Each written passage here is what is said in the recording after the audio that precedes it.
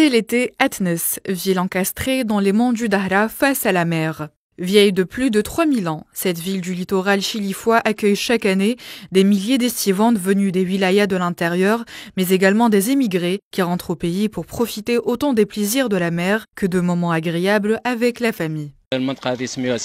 Cet endroit s'appelle Sidi Marwan. Ce sont les habitants de la région qui nous l'ont montré parce que nous on vient de l'Alma et on le découvre pour la première fois. Nous sommes originaires de Hassim Saoud. Avant, nous étions en Tunisie avec mon frère et on est venu découvrir cette ville touristique. Je n'imagine pas trouver un endroit aussi beau en Afrique du Nord. C'est vraiment magnifique. La nuit tombe sur la belle ville de Ténès, mais cela n'empêche pas les vacanciers d'apprécier la ville animée le soir par des concerts de musique. Euh,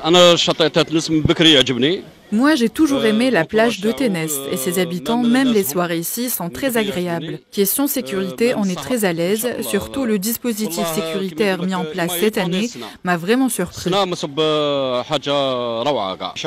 La plage de Ténès est magnifique, l'ambiance est très sympa et les habitants sont très accueillants. Par ailleurs, le langage courant de la ville est bel et bien le langage du poisson. Nul autre endroit d'Algérie ne peut se targuer d'avoir le meilleur rouget de roche ou la belle dorade argentée introuvable ailleurs dans la côte algérienne. Le littoral ténétien, avec ses fonds rocheux, offre en effet une riche flore et un habitat idéal pour les grandes espèces de poissons de la côte ténétienne.